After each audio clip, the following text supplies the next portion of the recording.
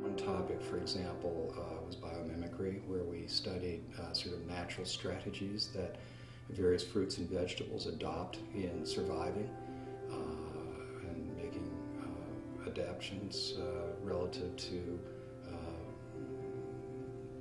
their sustenance. Each student picked uh, a, a topic. Robert picked the raspberry. Perhaps you want to talk as to what interested you about that.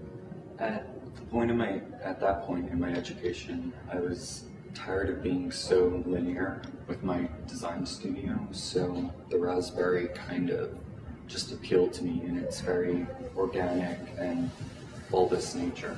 Um, it was also quite interesting to see how these small sacs of fluid and membrane together formed this fruit, and that intrigued me incredibly.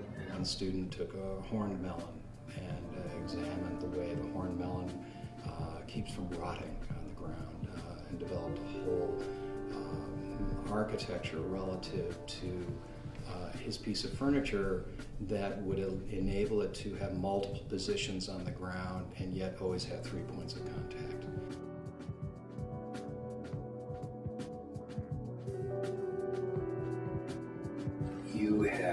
Selected the celery. Right.